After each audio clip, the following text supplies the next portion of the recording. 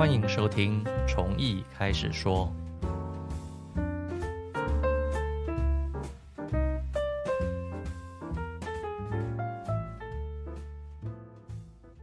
从艺开始说，大家好，我是李崇义 Charles。大家好，我是一真。Hello，一真，你你你你是一个孩子对不对？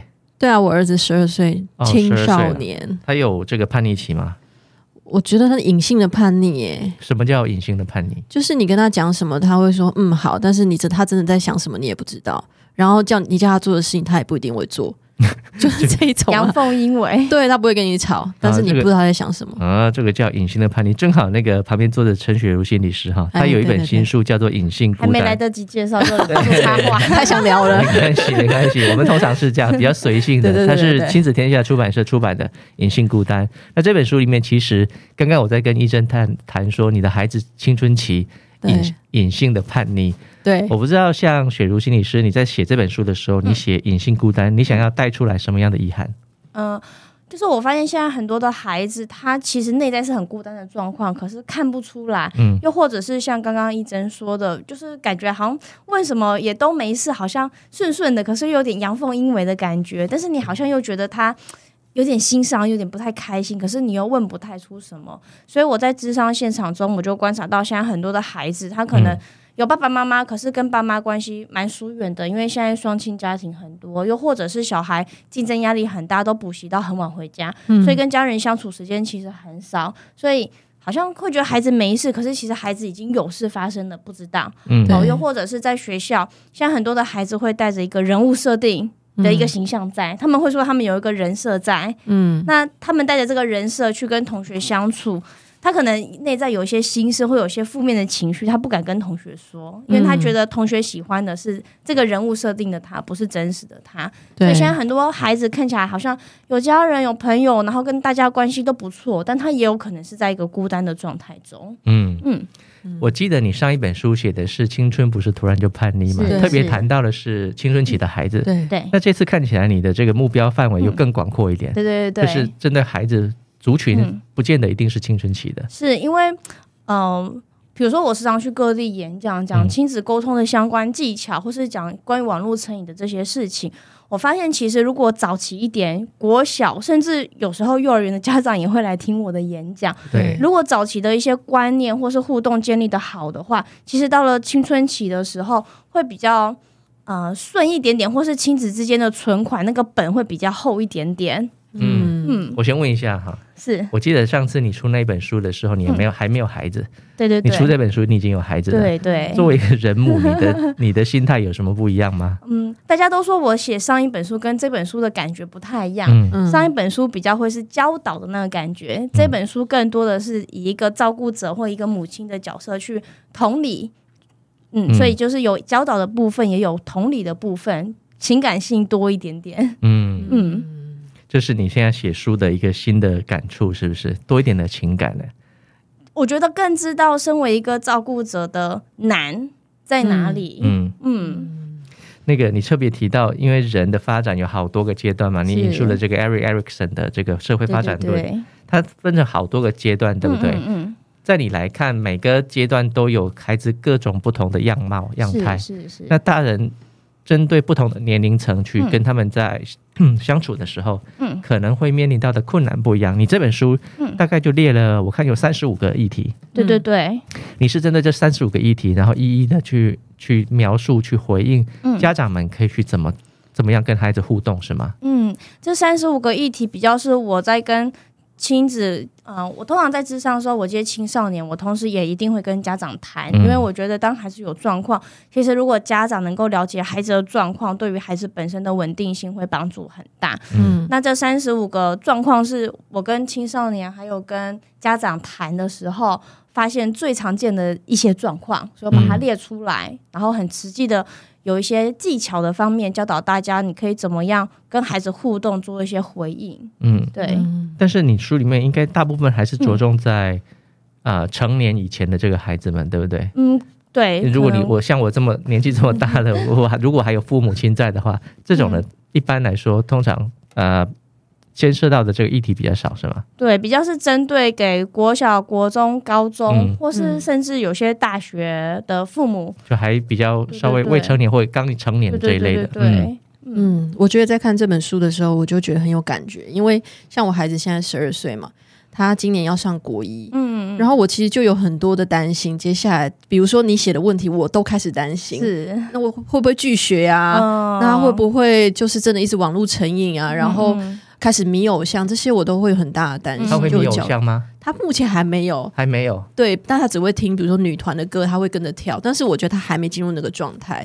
那你的担心这么多，是不是？就是那 你知道担心性向，对我还遇过对对有妈妈发现儿子的衣橱里面全部都藏着几件女装，嗯，呃什么时候交女朋友啊，什么这些这个也是写在书里面的一个是是篇章，对不对？对对你说对当妈妈发现孩子嗯，的性向是就是可能是同性恋的时候，对对，他们的要怎么去如何跟孩子处置？是你有遇过这样的个案吗？你有遇过这样子的案例吗？有是遇到孩子还是妈妈遇到？孩子，哦他本身，嗯，我觉得性向发展其实每个孩子时间点不一样，有些人是在国中的时候才开始认识自己的性向，哦有些人甚至在成年之后突然发现，哎，他男生可以，女生也可以，他原来是双性恋。哦然后有一些很早，有一些孩子是在他幼稚园或是小一、小二的时候，他就知道他的心里面觉得是男生还是女生，所以有些哦性向发展的是很早的。是。嗯，那我在这本书里面，我认为不管是性向的问题，或是对于自己容貌焦虑，青少年很常就是我长了痘痘，我很胖，我声音很奇怪，尤其那个胖很容易就被同学取取笑笑、霸凌，然后会很在意自己的外貌、打扮啊、穿着啊。现在青少年就会很喜欢穿肚肚脐环、蛇环、嗯刺青，然后爸爸妈妈可能就会觉得没有办法接受。那是为此会有一些争吵。那不管是对于外貌的焦虑、性别的认同，或是成绩达不到自己的期待，这些部分其实都是回归在自我追寻、自我概念的建立。我到底是谁？我要是一个怎么样的人？嗯，然后我要符合外在的期待多少？我是一个帅哥，我是一个美女，我很受欢迎，我成绩很好，我就可以认同我自己是一个好的人吗？或者是我没有办法很快速的达到社会上认定的好，那我还是可不可以认定我是一个好的人？其实这在在的，就是青少年的自我认同概念会破坏，然后又重建。嗯，你在书从一开始的，嗯，一开始的篇章就在谈到孩子出错是我教养有问题吗？你把这个重点放在家长身上，对、嗯对，而不是放在孩子身上。因嗯为很多人像你书里面提到说，是不是当孩子有问题的时候，嗯很多人就会开始自我怀疑、自我批判，说嗯是不是我有问题？是不是我做错了什么事情？是是。嗯那这样子的情况怎么办？对我觉得这一点会让不管是家长或是孩子，反而很难去面对他们遇到的问题。嗯一个部分是。很多人会把罪责怪在主要照顾者身上，不管这个主要照顾者是爸爸或者是妈妈。对，总之，好像我照顾这个孩子越多，我就要越为这个孩子负责。嗯所以有一些照顾者他很难去看到孩子的问题，因为去看到孩子的问题，等于我承认我的孩子有问题。一旦我承认我的孩子有问题，甚至我我要为他的孩子、我的孩子寻求治疗的时候，嗯所有的亲族都指责我：你看你怎么当一个妈妈的，当成这样子。嗯尤其是全职的家庭主妇更会被指责，你都没有工作了，你连带小孩这件事情你还带不好，那是一个很大的压力。那我这本书我特别强调转型的一个挑战，我其实想要强调的概念是。很多时候，孩子他出现状况不一定是谁的错，而是孩子在成长过程中，他就自然会经历一些迷惘。比如说，孩子自然会寻求性向的一个认同，我是男生，我还是我还是女生，哦嗯，这是一个很自然的。又或者是我的成绩不好，可是我期待我能够成绩好，那要怎么办？或者是我很在意同才，可是同才不理我，或是同才甚至讨厌我，那对我会有一些影响。所以我想要强调的是，青少年他呃。也不只是青少年啦，有些现在孩子蛮早熟的，有些国小、中高年级孩子也会出现这些议题。当孩子出现了一些状况的时候，重点放在怎么样协助孩子，而不是去找战犯是谁的错。我觉得这是更重要的。所以雪茹心理师意思是说，如果孩子有遇到像这样的情况的时候，其实是他们发展中正常的一个现象。对对对，哦，这很重要哎。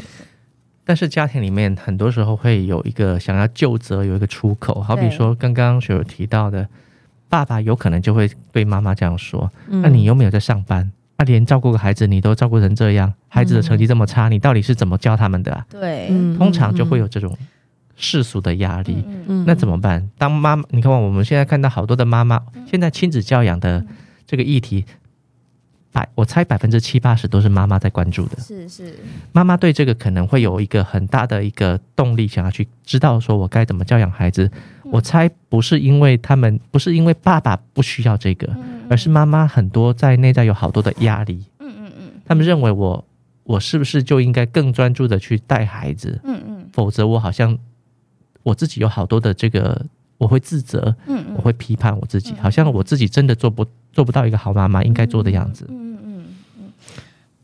我觉得哦，我有读者回馈这本书，他嗯回馈的是这本书很多地方帮助他转念，对，就是呃，比如说。如果以世俗眼眼光看，可能会觉得我的孩子有问题，他出现那些偏差行为，还是有问题的。对，但如果你以一个有问题的眼光去看待孩子，很容易也会觉得自己好像哪里做不好，很怕被罪责。可是如果你另一个角度去看待，哦，孩子出现这样的状况，是他呃生长的过程中，本来就会出现了一些迷惘，然后我们是要去协助他的。换一个角度去想，或者是也能够。引导你的另一半换一个角度去想，那我觉得这整体的责怪的这个感觉会比较少一点点。嗯，嗯其实好像也是在讲自我接纳的部分哦。嗯嗯，嗯嗯你说到自我接纳，我曾经遇过有一个妈妈，她跑来问我说：“老师，我这个我的孩子呢，在班级里面坐不住。嗯那你知道坐不住，老师没办法管教，就会觉得很痛苦嘛。嗯。所以老师一直叫妈妈做一件事情，你赶快带她去身心科啦，哦，然后看她是不是 ADHD 嗯过动的，嗯那你赶快叫她吃药。嗯。嗯，就老师也会给妈妈压力，是是，那老那个妈妈就问我说：“我该不该带孩子去？”其实你知道，妈妈会问这个事情，她其实都自己可以决定了。嗯她怎么会来问我这件事情呢？是是，可见得她的内在可能会觉得有一些冲击，嗯嗯因为他也知道带孩子去看身心科，或者是说他假设不管是有没有有没有过动的这个症症状好了，诊断好了，嗯。可能都会在孩子身上贴了一个标签。嗯，。是，所以我觉得，得父母亲在这上面是不是是不是也要能够去有多一点的面向去思考，我要怎么样才能够真的是帮助孩子的？嗯，这方面，雪茹怎么看？嗯，我也有，我也有遇过蛮多的个案来做智商，嗯但他们其实会有点怀疑，他们可能有一些忧郁症或是过动症之类的嗯状况，但他们蛮不愿意去。就诊的，因为他们怕去身心科有个诊断，好像就贴了自己一个贴标标签签，。嗯，我但是我通常会鼓励去就诊，去协助诊断，不是为了要贴一个标签，而是确认孩子的状态是什么。如果他确实有一些过动的状态，那家长就确实需要学习。用怎么样比较适合过动孩子的方法来对待他，又或者是当他有了这样的诊断之后，家长也比较能够去跟老师说，因为他确实有这样的状况，所以他需要的上课环境是怎么样。所以我认为这些诊断不是为了贴孩子标签，而是帮助身边的大人们更知道孩子的状况，然后更努力的的去学习要怎么样跟孩子相处，或是比较适合这个孩子的状况。嗯。雪茹这张是提到就是跟孩子的相处，我觉得跟这个是很真的充满考验的，因为在成长过程中，孩子可能遇到困难不跟我们说啊，或者是他选择就是跟同学连接啊，上顺跟我跟我们的时候，就很容易感觉到那个困难点，跟孩子怎么去做这个连接呢？嗯嗯，是啊，跟爸爸妈妈比较难谈谈得上话。对对对，就像刚刚那个医生说的，嗯。我问孩子，孩子可能，就我觉得最常的反应就是耸耸肩，不知道，嗯嗯嗯，没有，还好。嗯，这一类的，我觉得可能面临青少青春期的这个孩子们的家长，可能会觉得比较头痛的。是我想，我想跟孩子连接啊，我想跟孩子好好互动啊，嗯我孩子不理我啊，嗯那怎么办？你在书里面有提到那个根据这个 Erickson 的这个理论，嗯就是十二到二十岁的孩子可能正、正在做一个自我统合跟角色混淆的一个过渡期。对对，那他们他们有的时候呈现出外在的反应就是耸耸肩，我不知道，没有，还好。嗯嗯。对，对于家长而言，这个怎么怎么办？是啊，其实不管是根据 Erickson 的理论，或是嗯。根据家庭治疗 Bowen 的理论、是。B o w e n 也说孩子他会面临一个自我分化的一个阶段。小的时候他跟父母是融合在一起的，对。但他当他慢慢长大，他需要跟父母有一个界限，嗯。然后甚至他需要先在心理上面离开这个家，也就是他需要心理上面跟父母离得远远的，然后去分清楚哪些想法是属于我的，哪些想法是属于父母的。是，所以在他们在有一个阶段会很重视隐私权，甚至我如果有孩子哦，家长就很想跟孩子聊天，不知道要聊什么，家长就问孩子你在打哪一款电动，孩子死不说他在打哪一款电动？啊，他也不是在做什么偷鸡摸狗的事情，他就是觉得我要保有我的隐私，我不想跟你分享，哦。所以孩子在。某一个阶段，他很想要有自己的隐私权，他不再像小的时候就叽叽呱呱的跟你说个不停，你不想听他还逼你听，这是一个很正常的历程，不是因为孩子突然很讨厌父母，什么事情都不想跟父母说了。所以第一个是遇到这样的状况，不需要太过伤心，其实这是一个正常的发展过程。嗯第二个部分是。很多孩子其实想要跟父母靠近，可是他又想要有隐私，所以他不想要跟爸妈分享他很多私生活的事情。嗯，那这个时候，爸妈可以跟孩子聊什么呢？如果见面都问啊啊，你学校作业写了功课没？写了没有？对啊，学校压力好大，考试怎么样？啊，学校还好吗？跟朋友相处怎么样？好像每次见面都在审问一样。没有别的事情可以问了吗？对，所以我在书里面提到有一个蛮好的方法，嗯是孩子们回馈，这是他们蛮喜欢的一个方法，是父母可以跟他们聊天，然后聊父母自己这一天发生了什么事情。哦，我们自己跟他讲，哎，对对对，哦那孩子他会蛮喜欢听的。那在听父母发生什么样的事情的时候，第一个是会产生一个角色位移。我们会说，当孩子慢慢长大，是父母除了父母的角色之外，也要慢慢的位移到有点像朋友、有点像室友的角色，让这个角色有一个弹性，而不是一直高高在上、很权威的一个父母的角色。哦，所以，当父母在跟孩子分享今今天发生什么事情的时候，比较像是兄弟或是闺蜜在聊天的那种感觉。哦那孩子比较会在这时候也自然而然的说出他今天发生了一些什么事情，所以交流就很自然的在这个过程中发生。那孩子也有机会从不同的面向来认识父母、啊。我觉得我的父母一直都很 tough，然后很坚韧，然后很权威的样子。然后会发现，原来他们在生活中，他们也有他们柔弱的一面、不知所措的一面。他们会认识脆弱的父母的那一面，嗯，那他们也会比较理解，那他们父母是怎么样度过他们困难的。父母就从一个神的位置降到一个人的位置，那人就会比较有人味嘛，孩子也比较敢跟父母做一个互动。雪儿说这个，我突然想到，那个以前小的时候啊，我爸爸也是蛮常说他自己的，可是他都说的是那些过去老生丰功常谈的事。伟业嘛，嗯老生常谈，哦哎，我像你这个年纪的时候，哦，我想念书还念不到书，你现在为什么不好好把握时间？一寸光阴一寸金，你知道吗？还不好好把握，他突然讲我就不，想听了，对，不想听。所以很重要的是，不要把分享自己的事情对结合说教进去。啊，如果结合说教进去，就变成在碎念了。对，所以可是嗯，我我想说，可是有时候我们还是会想借由聊天分享一些人生观呢、嗯嗯，就是很热就会不小这个我就不想听了，真的吗？真的真的。要是我是你孩子，我就不想听了。真的你好，你这这个，你你想想看呐、你看 YouTube 里面都有很多植入性广告，对不对？嗯你那个植入太强，你根本跳掉，对你根本就不想看。是是，所以你如果把那个东西植入的太强了，我当然听都不想听，嗯除非除非你是非常的 subtle，非常的隐隐含性的、包含性的，哦，你就跟他分享一个你自己生生活当中遇到的一件有趣的事情，哎，我觉得 人生好像是怎么样怎么样，嗯，它是不带有目标性的，就我分享我自己的想对法对对对就好了，，否则你那哦个置入感太强。也是，所以我在书中我也提到一个我很想要传递的概念是走在孩子的后面。嗯，走在孩子的后面，意思就是不是引导孩子或者置入孩子怎么样的观念才是对的，而是先停下来问问看孩子怎么想，他们的想法、他们的观点是什么。嗯所以，比如说，当我们在分享我们的事情的时候，比起告诉他，我觉得这件事情怎么做才是一个正确的，我们可以先停下来，先去问孩子，那你怎么样看这件事情的？嗯，走在孩子的后面，而不是走在他的前面去引导他。嗯走在孩子的后面，比较有机会去了解孩子的想法跟价值观，嗯，或者了解孩子的能力在哪里。嗯甚至孩子遇到问题的时候，先给他自己去试试看，不要急着出手帮他。是嗯，那雪茹，你刚刚说的类似呃，比如说跟孩子分享自己的事情的这个，跟青少年可以。那如果是在更小一点，像幼儿园这样的孩子，也是可以吗？我我小孩目前两岁，嗯，你也我也会跟他分享。比如说我去接他的时候，我就会说：“你今天过得怎么样？”啊，他可能也也不太知道怎么说，或是我也听过，我前阵子去那个校通文嗯主持人的节目，对然后他就说，他每次去接他儿子，问他儿子今天过得怎么样，他儿子都不说，对因为他就觉得我生活就是这样，学校就是这样，没什么好说的啊。所以我们那时候讨论第一点，问孩子今天发生什么事情，要讲求时机点。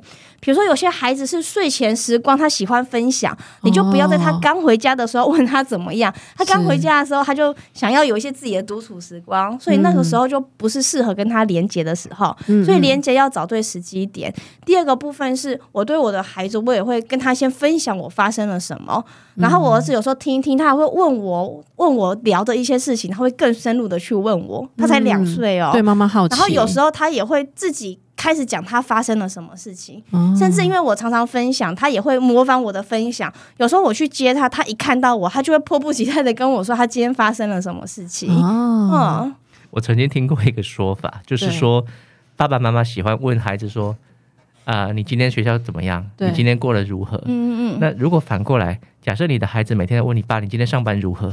你今天老板怎么样是真有点烦欸 假设他们都是这样套路式的问，嗯嗯呃，我常常我常常都会觉得说，其实爸爸妈妈跟孩子之间应该也要有一些对话的创意。对，也你要你要想到我能不能够在这个之中也激发一些创意的想法，跟孩子多做一点不一样套套路式之外的一些互动。嗯嗯否则，老实说，对大人而言，这些我们都不太愿意回答了。你也不会，你现在成年了，三四十岁了，你也不会没事跟你爸爸妈妈报告说你现在玩什么手游，对吧？对呀、对呀、嗯你也不会没事跟你的爸爸妈妈在谈说你今天上班发生了什么事，嗯也也很难。如果如果反过来这样思考，你也就知道，当你问孩子今天学校怎么样，千篇一律的这样问，他也会觉得好烦了。嗯嗯，嗯也是，从你刚刚的分享让我想到我自己的经验。嗯我那时候研究生在写论文的时候，嗯我爸打电话给我，嗯，开头第一句永远就是“你论文写的吗？写的怎么样了？” 哦，我如果在外面玩，然后听到他讲这句话，我的压力好大哦，就会觉得很不自在。我就想说，他是很在意我要赶快毕业，是不是？后来我就问他，你为什么每次都要问我论文写的怎么样？嗯我竟然发现，我爸其实他不是在意我论文写的怎么样，他？是因为没话讲，他不知道怎么聊天。我觉得这很常发生在父母身上，尤其是跟孩子关系比较远一点点的父母，他不知道怎么跟孩子聊天，所以就习惯性的问孩子：“你今天过得怎么样？”用这样的方法期待要找话聊，可是这却相当却恰恰给孩子一个很大的压力。嗯，所以，呃，我说分享自己的生活，我觉得这也是训练自己怎么样跟孩子聊天的一种方式。嗯像我那个时候，因为我在学心理学嘛，所以我那时候我就引导我爸爸要怎么跟我聊天。嗯我就跟我爸爸说：“爸爸，你这样子问我，我会觉得压力很大。你你的目的是想要我论文写完，还是想要跟我聊天？”我爸爸说：“我是想要跟你聊天。”我就说：“来，那我们来聊天。我分享我的生活一件事情，你也分享你的事情，我们来聊天。”我就在告诉我爸爸要怎么聊天。嗯，那我觉得现在我们也可以用这样的方法来引导我们的孩子，或引导我们自己要怎么样去跟孩子聊天。嗯，这是成年之后的你可以这样做的，因为多一点的觉察，多一点的这个这个就反刍。对可是对于孩子们，他可能就不会想到这些，是是是他，也不知道该怎么跟爸爸妈妈聊。我最看的最多的就是嗯。很多的爸爸妈妈就是带孩子一起出去吃饭，嗯。就说跟亲朋好友。嗯。那你知道青少年的孩子哈，通常都会带着手机，然后就边划手机，嗯。他也不跟人家去有任何的沟通、交往、嗯。交交流，对，就自己划自己。啊，爸爸妈妈会生气耶，嗯。就旁边就说：“啊，你怎么带你出来都在自己玩手机？嗯。对啊。你也跟亲戚朋友打个招呼啊。嗯，可是他们也很尴尬，他们也不知道能说什么，对。因，为老实说，大人有大人的话题，孩子们插入不了这个话题，嗯。我也是这样觉得，就就是我去不熟饭局，我也不想一直聊天啊，你就会拿手而且机出来划。现在觉得尴尬的时候，就拿手机出来划。就是同理啦，对，所以大人也是这样啊。对啊，那我看到的就是很多大人很执着，就是你怎么就要去批判孩子，你怎么都不好好的出来聊天。嗯。是。但问题是你没有找到一个他合适、他有兴趣的话题啊，嗯嗯嗯你只有批判而已，你只有叫他不要拿手机而已，嗯，是，嗯你没有别的做法了。所以这个很可惜的就是，既然我们想跟孩子多连接的话，那是不是我们也可以找到他有兴趣的东西？嗯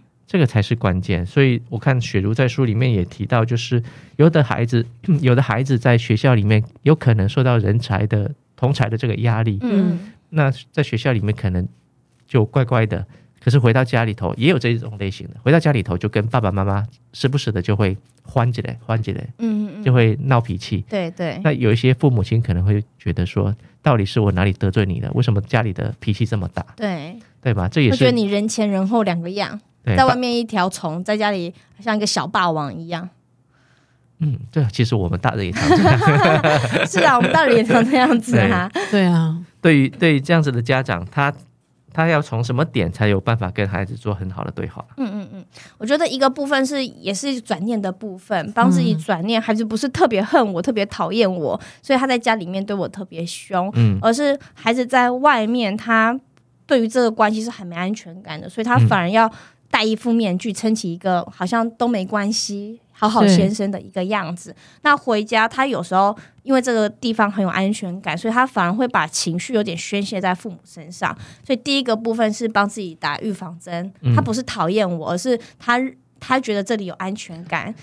但是呢，也不是说就可以允许孩子对我们互动这么的不尊重，因为我们也会觉得不舒服。所以第二件事情是告诉孩子你的不舒服，也告诉孩子他可以怎么样去发泄他的情绪。比如说，你跟我讲话，然后你一直骂我，很大声的骂我，这样的方法是我不能够接受的。嗯但当你心情不好的时候，你可以去你的房间，你可以打枕头，或者是你我们每天有三十分钟的网络使用时间。你如果每次回来你心情都很不好，你需要先有点打电动时间调节你的心情。你可以把电动的时间先移到前面的时间去，让帮你自己的心情比较稳定下来。所以可以跟孩子讨论一些怎么样帮自己调节情绪的方法。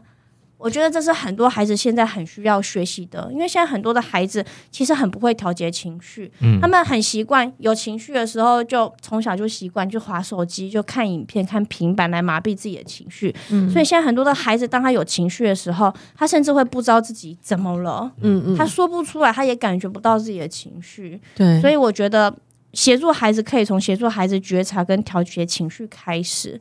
嗯，可是雪茹，你刚刚提到就是跟孩子聊天，比如说尊重他的界限嘛，我就想到我儿子他有 IG 账号啊，嗯嗯然后我最近就发现我有追踪他嘛，然后我就发现他没有追踪我，嗯但他追踪我所有的朋友跟他的老师，然后我就问他说：“那你你你不想？哎，你怎么会没有？你想你追踪你想追踪妈妈吗？”他就淡定就说：“没有、诶，我没有想追踪你。”然后我就会想说：“那我很好奇他的生活啊，嗯嗯，但好像就没有办法。”这种感觉就是不知道怎么跟他聊啊，嗯嗯嗯，对啊，那你要把也是像这样嘛，告诉他我想要，但是怎么怎么办呢？你你会很受伤吗？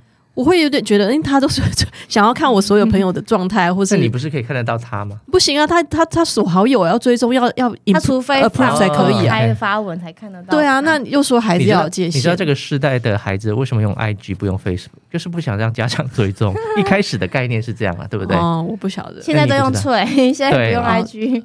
对，所以你看这世代的演变，所以你刚刚说孩子不让你发了，不让你追踪，这要很正常，对不对？觉得这是很正常的。大部分的孩子都不想要父母 follow，可是比较特别的是，他去 follow 你的朋友、哎，对啊，就是他认识的，比如说我身边的阿姨什么的，哦他以前都之前一起吃过饭的啊，哦他就会他就会很礼貌的去追踪人家。这是一个很好的 sign，什么 sign？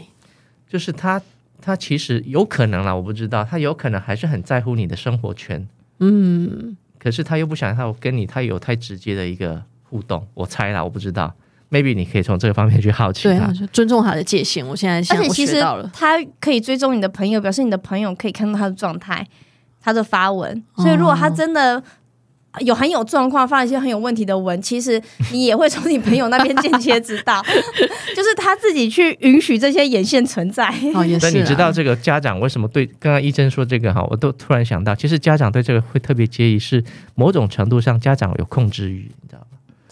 会吗？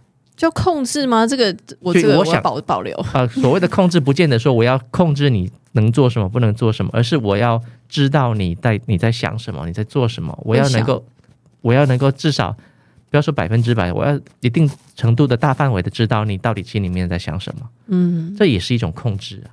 所以我在猜，很多的爸爸妈妈会焦虑于我没有办法知道孩子在想什么。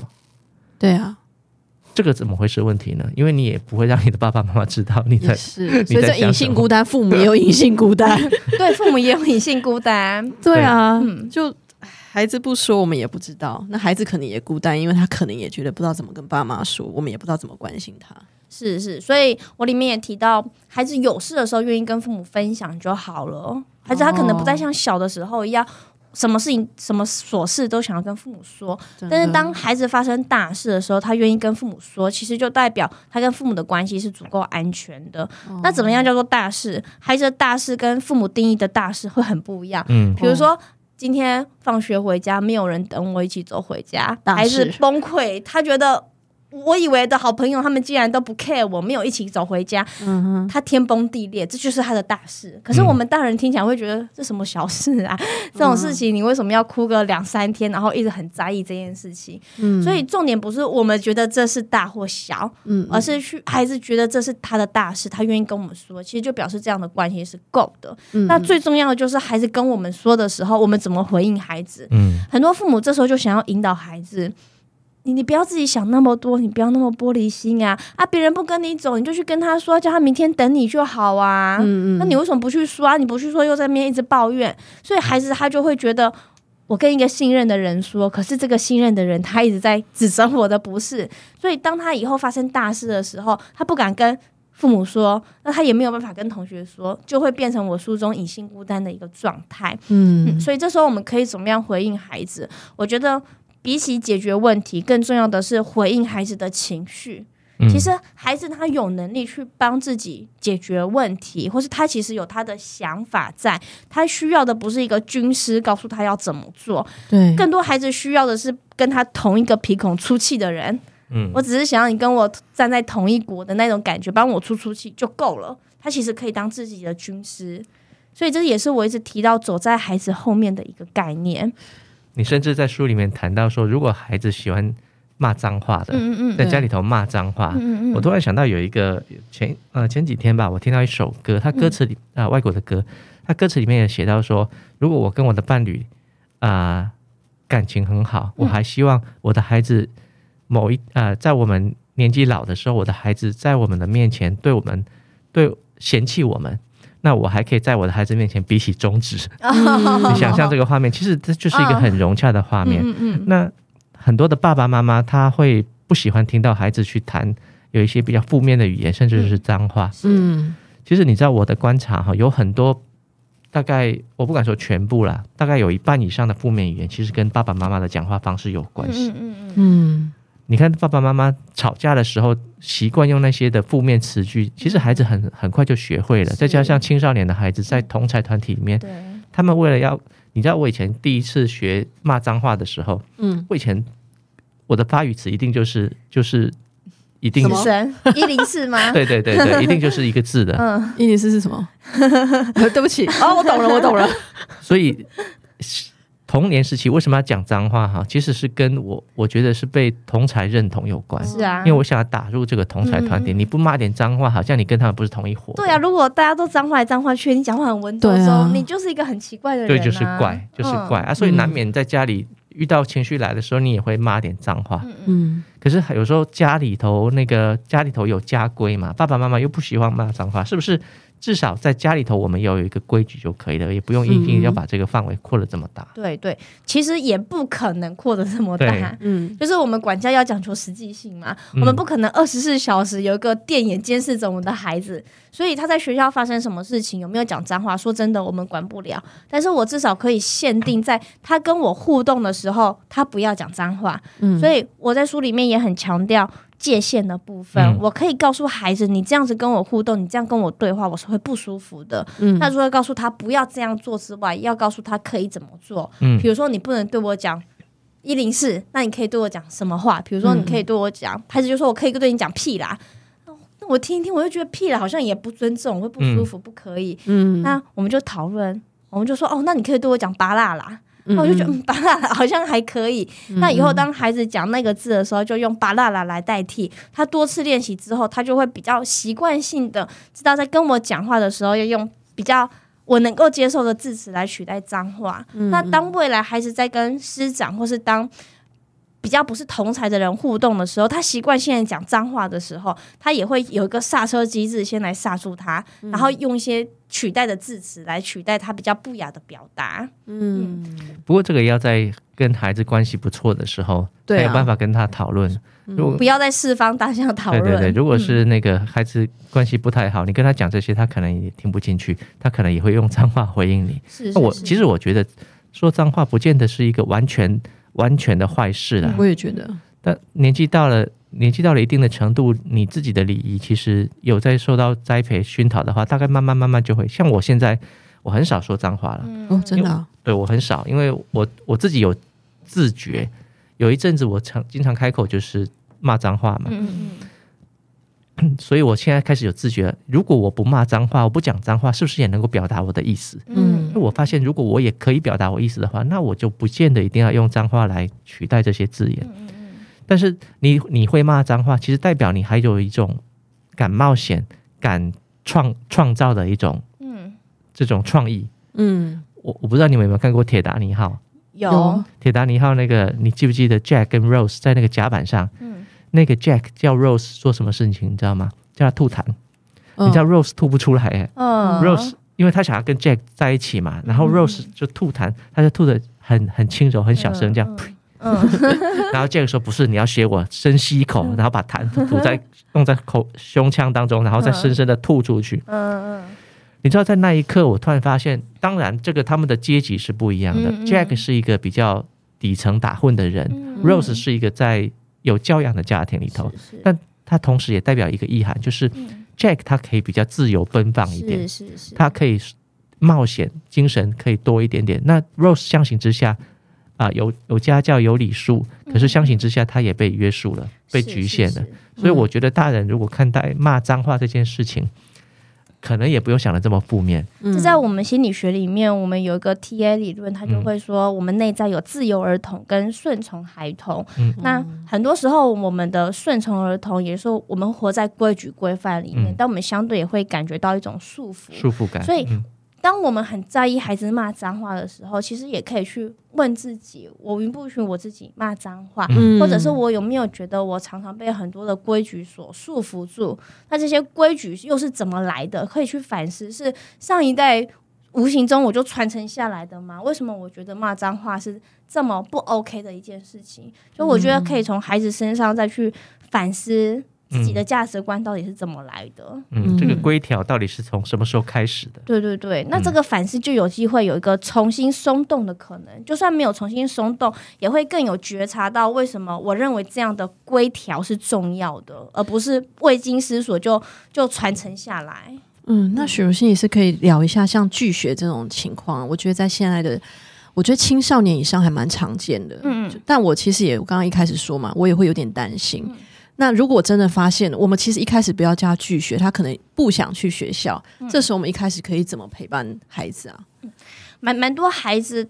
他现在的拒学，他可能不会是坚决我绝对不要踏入校园一步，但他可能就是开始哦，我身体不舒服，我要请假，然后就常常很频繁的请假，每天都上午去，下午就请假，或开始哦去两天就要请一天。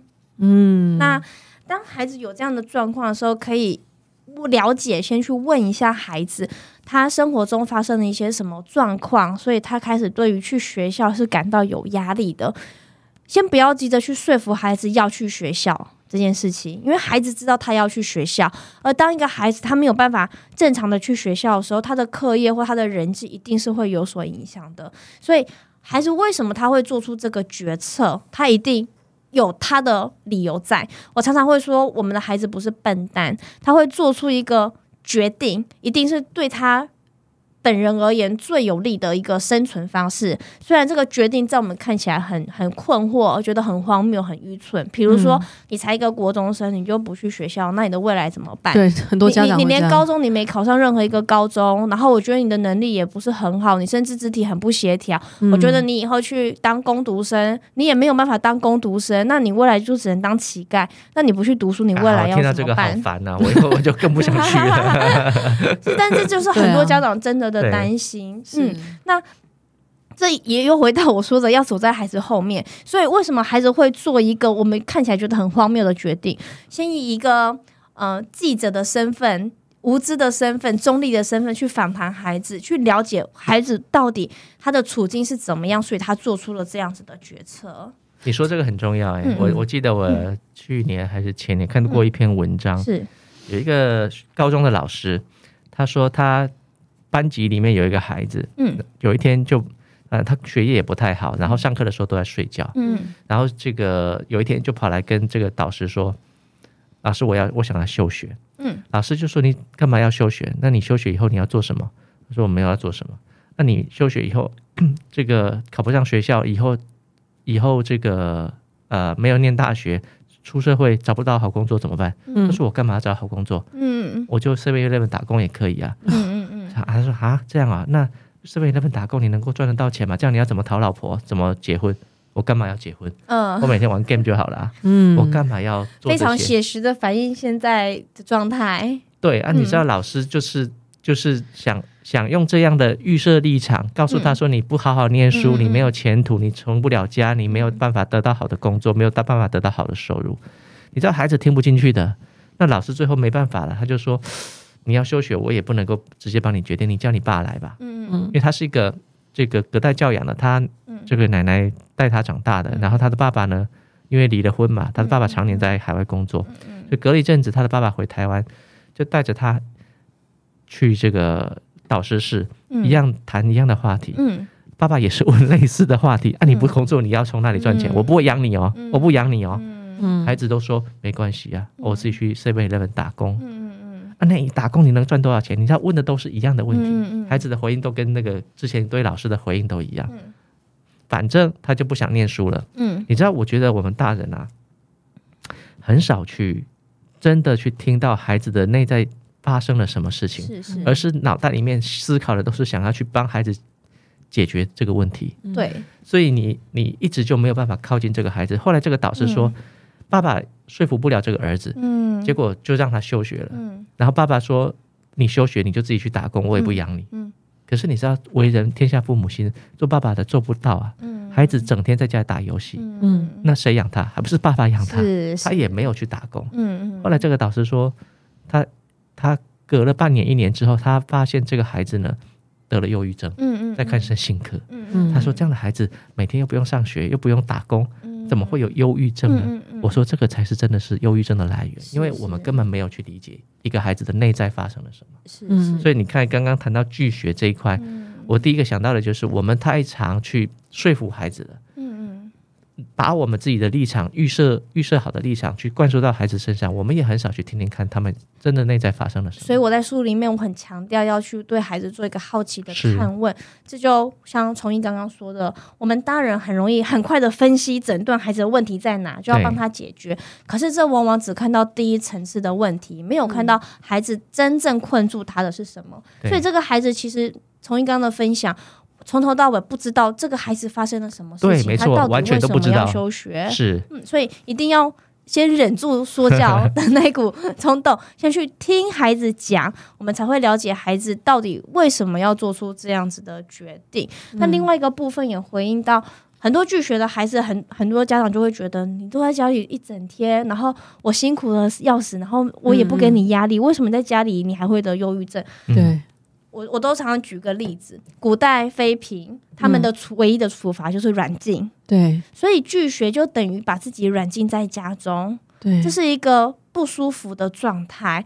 而我接触到很多的很大的比例拒学的孩子，很常是有合并身心问题的，嗯，所以当一个孩子他出现了拒学或他出现了任何偏差行为的时候，真正重要的不是去解决这个问题，嗯，而是去了解。孩子怎么了？孩子出现这些偏差行为，出现这些问题，都是他告诉你他自己 handle 不了了，他他没有办法靠自己 handle 了，所以他出现了问题了。所以我们要去了解他的问题到底是什么。是，嗯可是就像我呃有一些伙伴，他们也是因为孩子拒学来 来跟我聊一聊，这样，那他们就会说，呃，可是问孩子，孩子都不说，嗯，那不说的情况，一时半刻家长要去改变那种全变成自己全然好奇的状态，我觉得蛮不容易的。是。对啊。我，我觉得哈，那个、嗯。我记得有一本绘本，不是那个呃男孩鼹鼠马跟那个狐狸、嗯那本书里面，我记得印象很深刻一句话，叫做那个男孩问马说：“你听过最勇敢的一句话是什么？”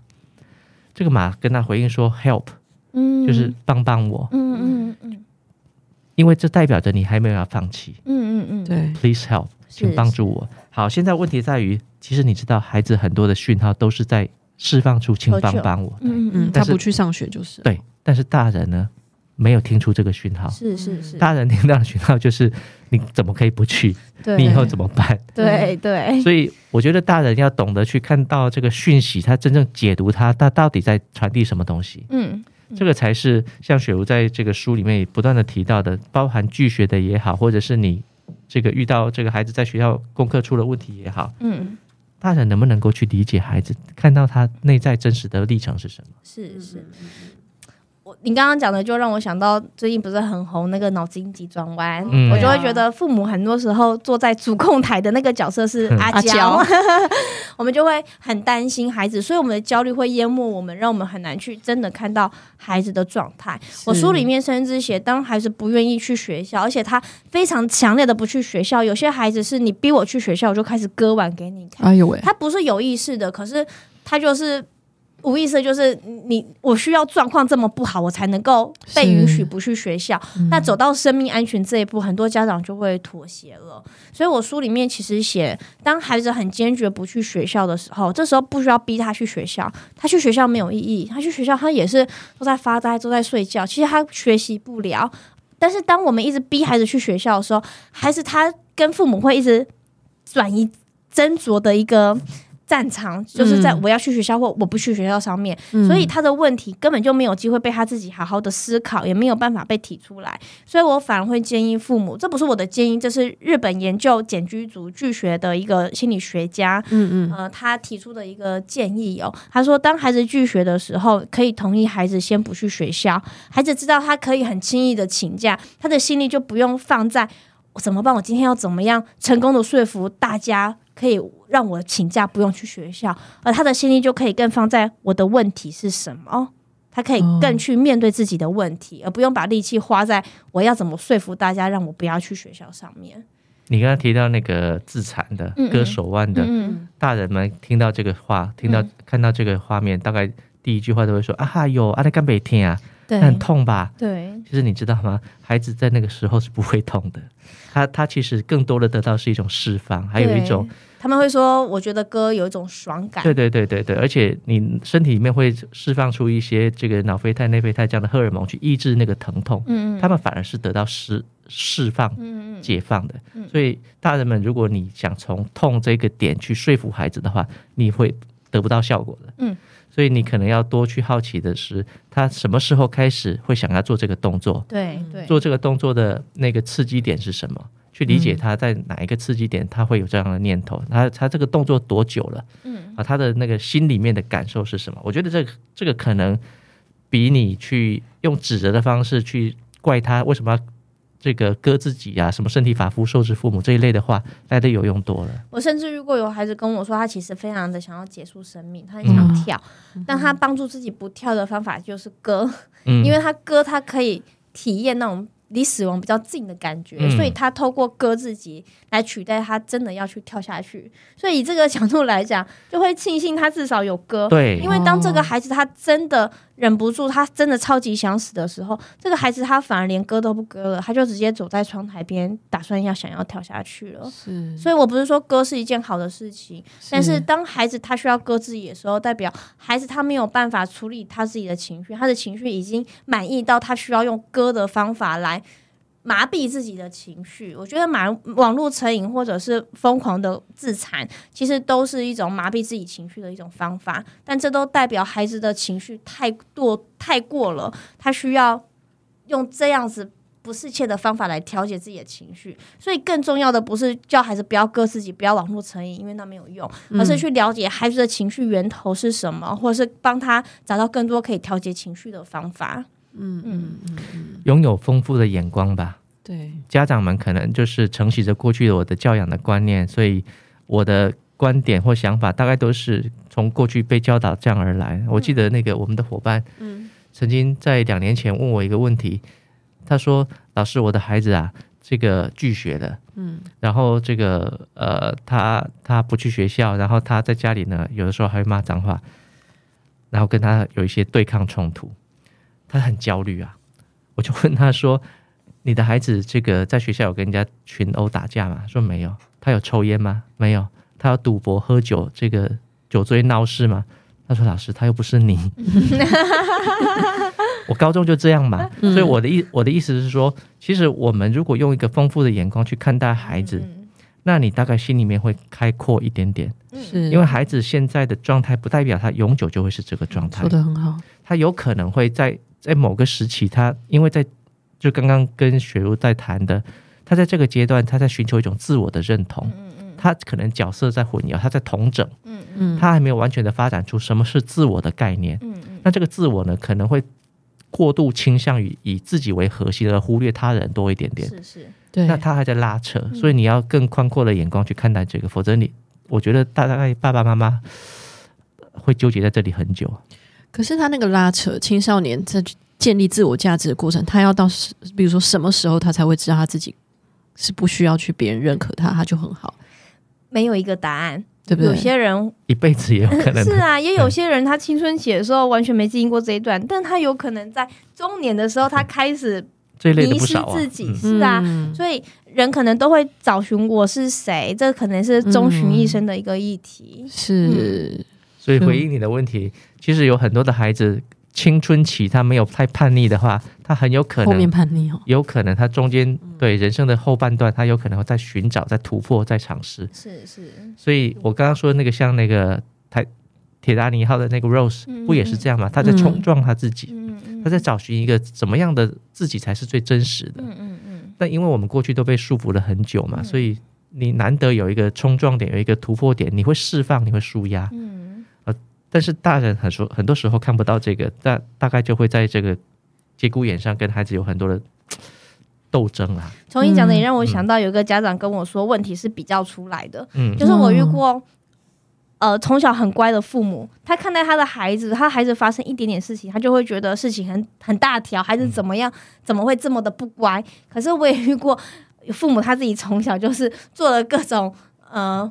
叛逆的，对对对，叛逆的事情，然后他就看儿子，其他身旁的人都担心的要死，他就看他孩子，觉得 才做这一点事情而已，然后他还很自豪说：“我以前还怎么样怎么样怎么样。”他就一点也不觉得他孩子有什么问题。嗯，所以我们看待孩子，我们会怎么样觉得有问题，怎么样觉得没问题？其实每个家庭。的评估都是不一样的，没错。有时候当我们很焦虑的时候，我觉得支持团体很重要，就可以多跟其他的父母聊一聊。有时候聊一聊，从别人的眼光，就像崇英说的，可以比较丰富的眼光来看待我们的孩子的状态，比较不会受我们个人。嗯，从小学到的一些价值观的影响，用单一的视角去看待孩子。嗯，而且这个这个世界有的时候是把人给化修哎，是 就好比说前一阵子那个孙南佐，嗯嗯，其实你要记得那个以前的那个呃，他的爸爸叫什么？孙鹏，孙鹏，就是孙鹏在年轻时代也很叛逆的哦。对，可能那个我不知道叛逆的程度跟他儿子有没有很像，但至少我知道，我印象当中他们在年轻时代也是非常的叛逆的。嗯嗯嗯，所以。当这个家庭是这样，外面的人又有好多的批判眼光，什么去去讲，那那就会把这个事情又更复杂了。是，所以这个世界可能你也要看待，啊，是不是别人的眼光也在影响着你？是是是，很多人在教养上也是这样，好像别人都都在看我怎么教孩子，那我自己无形当中对我自己也有很多的压力、批判、评价这个部分。对，所以那个不要乱泼孩子上脸书哈，乱泼孩子上脸书。这件事情。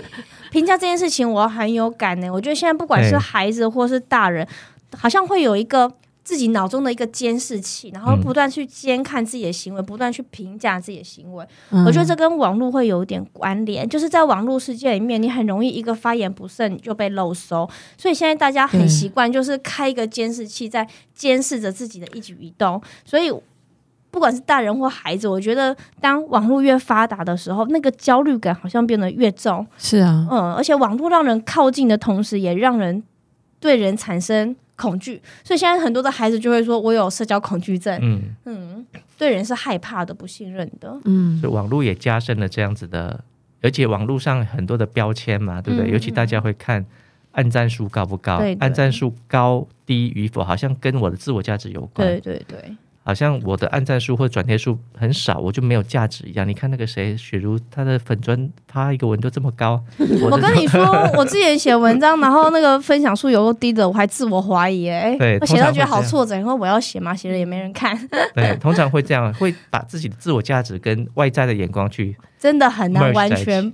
不不连接，对啊，我的孩子也会啊，他们都在什么学习那个赖的族群里面，都会谁跟谁好，谁跟谁不好，谁说谁坏话，嗯，就会这样子，回来也会心情不好。嗯嗯，对，雪茹这本《隐性孤单》是亲子天下出版社出版的，那我觉得里面有呃罗列了三十五项议题哈，跟孩子还有就是孩子的发展，从从刚出生到他长大，那尤其像遇到。骂脏话啦，或者情绪的议题啦，或者是呃这个拒绝等等等等的，我觉得在里面都可以找到很好的答案。嗯，雪茹能不能够最后帮我们再总结一下这本书能够给我们带来什么？嗯，这本书你其实想传递的是什么？隐性孤单，我们现在看到的就是嗯，孩子其实他内在有很多的隐性的议题，我们大人不知道。嗯嗯，对，怎么样去更靠近孩子？嗯，我觉得我写这本书的。用意之一是我看到现在很多的父母真的很努力的想要用不一样的方法教养孩子。有人说现在的父母是最辛苦的一代父母，嗯，他们承袭了上一代的打骂教育，所以不想要再用打骂的方法对待孩子，但是相对反而变得对孩子太没有界限了，反而对孩子太过的。宠溺，甚至把教养的责任外包给老师，要黑脸都让老师去当，所以父母变成一个很无力的父母。那尤其到了青春期阶段，孩子叛逆的时候，孩子比较有自我主张的时候，父母其实对于孩子的很多情绪状态、很多行为状态是觉得很不知所措的。嗯，而当父母很不知所措的时候，很容易就会用说教或是用忽略的方法来回应孩子。我不知道，我看到你割腕，我不知道我该怎么办，我就选择。假装不知道，可是这个假装不知道反而更伤了孩子。所以明明父母很在意孩子，可是孩子却感觉不到父母的爱。那我觉得这是非常可惜的，就是彼此都很在意的两个人，可是却没有办法靠近。所以我写这本书，其实我希望孩子年纪越小的家长看，我会觉得更是提早的。投资吧，就是你越小的时候，你就学会越多的方法来跟孩子互动相处，让彼此之间的冲突，或者是遇到冲突、遇到一些难以处理的情况的时候，更知道怎么样跟孩子对话会比较顺一点点。嗯，我觉得我从事智商或我写书，我最主要的目的都希望。呃，亲子之间可以有更深的连接跟靠近，而不是养出很多受伤的孩子，还有坏掉的大人。嗯，我觉得这本书，我就刚刚一开始说，我拿到我就很喜欢，因为我孩子要上上国中，那我觉得在跟孩子的连接，这个这本书里面都有非常详细的告诉我们可以怎么去回应自己，然后总而言之就是要让自己放轻松了。我觉得妈妈也真的有太多焦虑的时候，真的很容易。把自己跟孩子的关系越推越远，所以我很喜欢这本书。这本书的封面有写到校园心理师的教养实战锦囊。诶，我突然想到，如果大家家里面有一本书，呃，这本书，然后如果遇到孩子跟孩子沟通上有一些挫折或困难的话，不妨拿起来翻一翻，有没有一些正好是你遇到的这些议题？那可能在对于你教养或者是你的沟通上会有一些注意。是，嗯，好，今天谢谢雪茹心理师来参加，哎，不是来参加，来来接受我们的访问，嗯，谢谢你，谢谢，谢谢，谢谢雪茹。从一开始说，今天先聊到这儿，剩下的下次再说，大家拜拜。